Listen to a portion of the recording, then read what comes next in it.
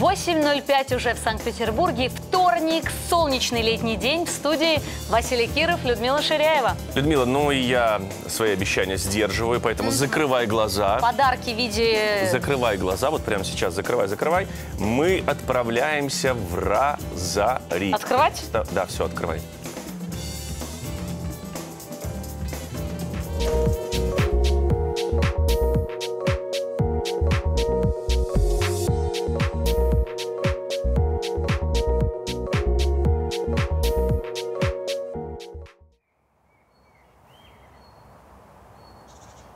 Роза пахнет розой, хоть розой назови ее, хоть нет. Это цитата Уильяма Шекспира. Кстати, он говорил об этих прекрасных цветах в своих произведениях более 60 раз. Ну а в Петербурге начинается э, яркое цветение в Розаре в ботаническом саду Петра Великого. И подробнее узнаем все об этом прекрасном уголке у Аллы Капелян, ведущего агронома, научного руководителя Розария ботанического сада Петра Великого. Доброе утро, Доброе Алла. утро. Да, ну вот мы с вами в таком в розовом цвете сегодня. У нас, я надеюсь, Потому будет роза, прекрасная э, жизнь в розовом цвете. А э, расскажите о, об этом месте. Я знаю, что еще с 1950 года здесь вот заложили такой цветник.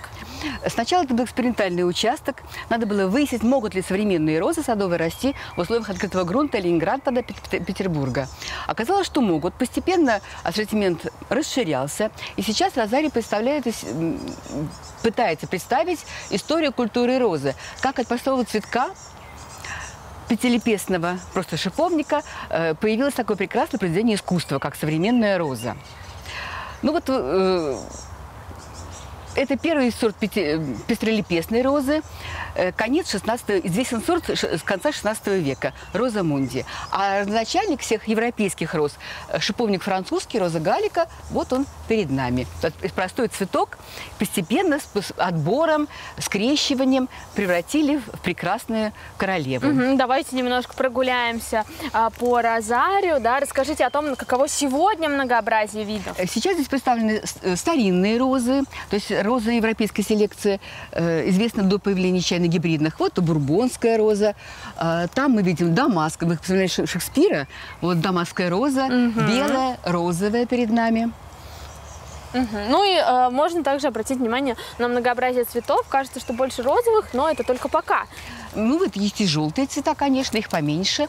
Желтые, желтые у нас э, менее устойчивы в наших условиях. Э, ремонтантные розы.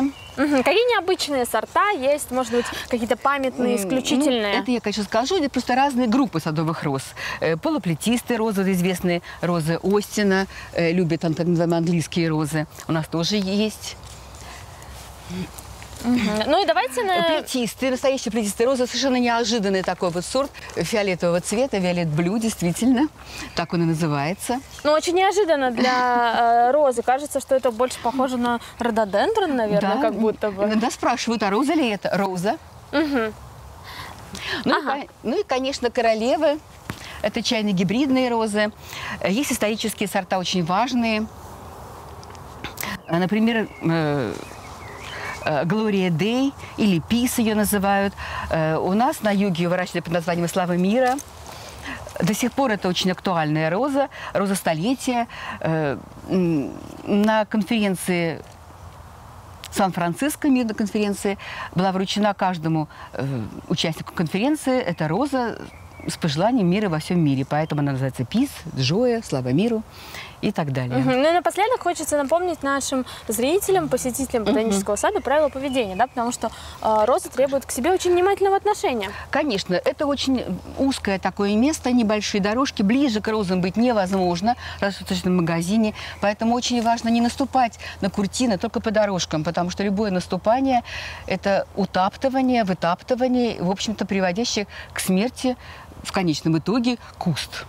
Мы даже при уходе стараемся не наступать на грядки, а только идти по дорожкам. Тем более такие Алла, спасибо. мелкие розы. Можно показать? Да, действительно удивительное многообразие. Вот, например, такие совсем небольшие. Да, я знаю, кстати, что самая миниатюрная э, роза, которая была выведена, она даже меньше э, рисового зернышка. Действительно, и такие уникальные э, встречаются экземпляры. Алла, спасибо вам большое за наше утреннее интервью. А я передаю слово в нашу, как всегда, цветущую и яркую студию.